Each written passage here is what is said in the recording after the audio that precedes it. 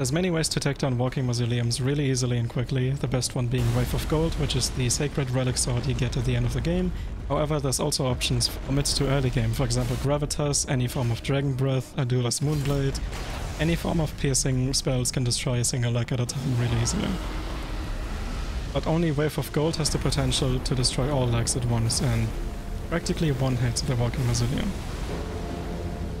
And in case you didn't know, just as a side bit of information, the only way you can dupe a remembrance from a shard bearer is by going to a mausoleum with a bell. The, the ones without a bell do not allow for that.